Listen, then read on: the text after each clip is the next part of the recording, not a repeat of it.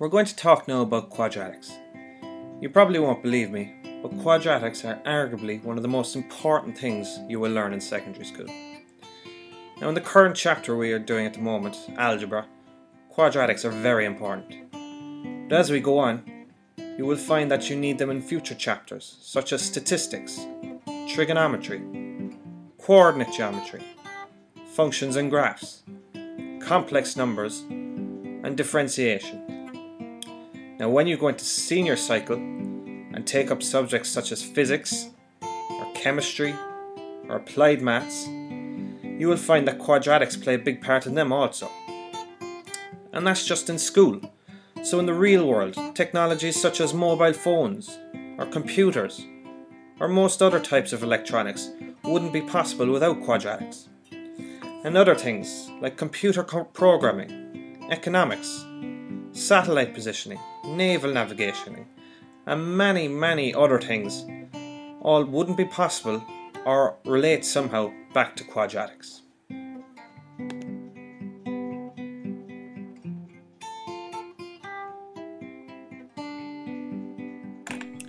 So in previous sections of this chapter we learned how to factorise certain expressions. And that's exactly what we're going to do to quadratics as well. Before we do that, let's just look back over a different type of factorizing that we've already covered, called factorizing by grouping. Now this expression should look familiar to you, and to factorize it, what we do is we take out what's common from the first two numbers, which in this case is 7y, and then we take out what's common from the second two numbers, which in this case is 2a. And we know at this stage that we're right, because what's left in both brackets is the exact same. So to finish off, we then put both brackets back together. Now I know we've already covered this, but it is also a very important part of factorising quadratics as well. So back to quadratics. Now the first thing we'll do is figure out what a quadratic actually looks like. So here's an example of a quadratic expression, as is this, and this, and this. Now what do we notice about these expressions? Well each expression has an x squared, an x, and a number. And what exactly are we trying to do with these quadratics? Well, like other types of factorizing, we want to turn this into this. Okay, so here we go. Now to factorize this quadratic, we must follow four simple steps. The first step is finding our guide number. We get this by multiplying the first number by the last number. So in this case, it's 24. In step 2, we then get the factors of 24, i.e. the numbers that multiply to give you 24. So it's 1 by 24, 2 by 12, 3 by 8, and 4 by 6. Now, here's the good part. Take a look at the middle number in the expression, 11. Now which of these sets of factors will add to give you 11? So for example, 1 plus 24 is 25, so that's no good. 2 plus 12 is 14, so that's out. But look at 3 plus 8, that will give you 11. So step 3 is the most important step. We are now going to take the original expression, except we are going to replace 11x with 3x plus 8x. To finish off in step 4 we simply factorise the new expression by grouping, which we already know how to do.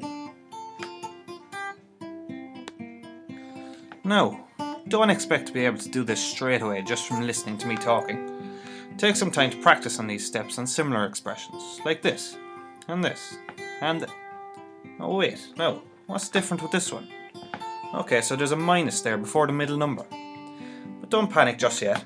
Let's follow the steps again and see if we can factorize this one. So, step 1, again, you find the guide number. And again, we list out the factors of this guide number in step 2. Now we want the set of factors that will add to give you the middle number. Well, Clearly 6 and 2 will add to give you 8, but the middle number in this case is a minus. So how can we get them to add up to minus 8? Well, what if we change them to minus 6 and minus 2? That will work. And if you remember your rules of signs, if we multiply minus 6 by minus 2, that will give you plus 12. So, after that, follow the exact same steps and then you're done.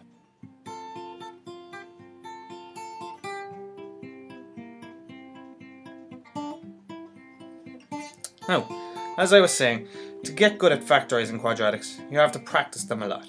So try factorising ones like these, and this, and that.